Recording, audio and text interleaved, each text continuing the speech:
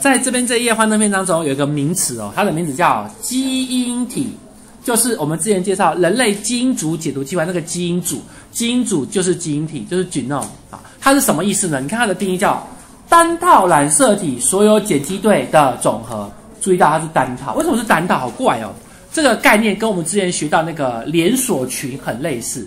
当我说这是个这是一对同源染色体，这是大 A，这是大 B，这是小 a，这是小 B。我们以前教连锁群的时候会说，你这个图这个图画出来的连锁群只有一个，叫做 A 跟 B 的连锁状态。虽然看起来有两个同源染色体，但是它们是同样一个连锁群，所以这样叫做一个基因连锁群。它看的是你染色体的种类，种类。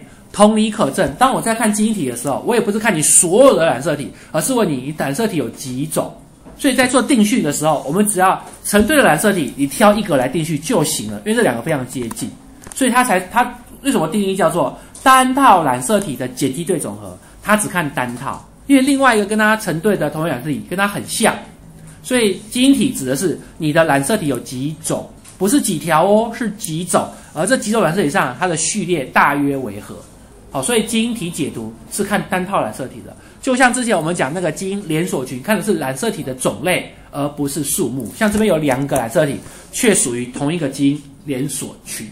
好，这样。那人类的基因连锁群，目前已知有三十一个碱基对，老鼠二十六。那老鼠这么小只，它的基它的那个基因连锁群的大，呃，基因体的大小跟我们差不多。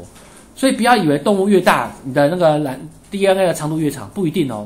很多生物比我们小，它的染色体比我们长，或者 DNA 比我们长。那有些反相反，所以这。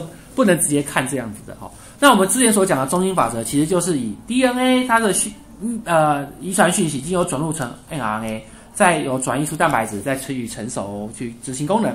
好，这就是我们生分子生物学的中心法则。不过这一页最重重点是你要知道什么叫基因体，它是指单套染色体的碱基对总和。